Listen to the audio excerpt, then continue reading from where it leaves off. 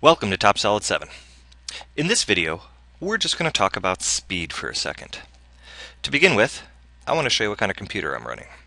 So if I go to Properties here, uh, it's nothing special. It is an Alienware computer, but to be honest, it's an Alienware computer that I picked up at Best Buy for about $1,500. Uh, it's an i7 processor, 920, which is a 2.67 gigahertz processor. There's 9 gigs of RAM. Obviously, it's Windows 7 64-bit. Um, graphics card wise, it is a uh, standard GeForce graphics card. Uh, it's nothing special. It's a gaming card, in fact.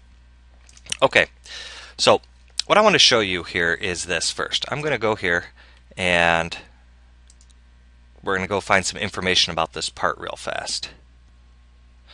And actually, to do that, I want to open up the original design file for this. So I'm going to go to my parts here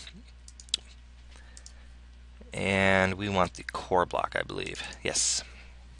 Okay. So here is the actual core block design that we're gonna, that we're machining okay? And what we want to do is we want to find out some information about this block. So for example if I go to uh, I believe information oh excuse me we want analysis. Uh, it's a solid it's one body. There are 4,354 faces okay? Uh, over 1100 edges, so forth, and so on.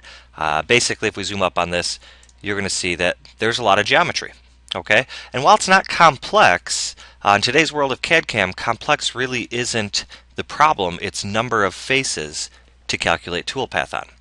Okay, so without further ado, let's go do some fun. So here, we're back in CAM, and what I'm going to do is right mouse button click and say I'd like to create a finishing. Uh, here, I'm going to leave it at 8 tenths uh, computing tolerance and roughly an 8 tenths scallop height.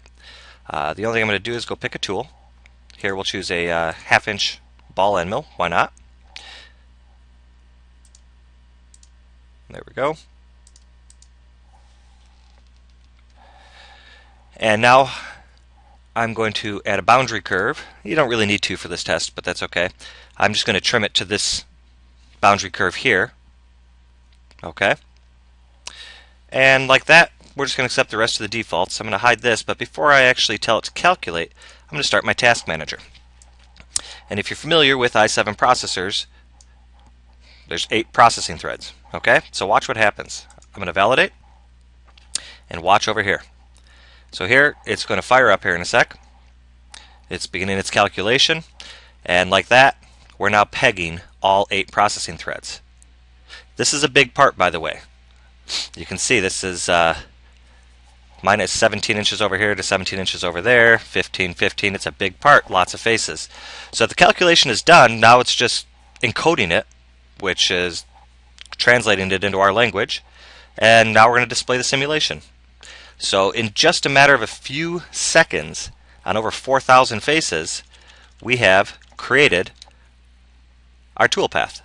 And here you see the simulation. We can kick out of this real fast. And let's actually go ahead and kick out of this and just turn it on to show you how nice that tool, this toolpath looks. If we zoom up, you can see it's beautiful toolpath, and it happened in just a few seconds over something so big and with so many faces. I hope you enjoyed this sample of TopSolid Cam 7, and I hope you download the trial and check it out for yourself.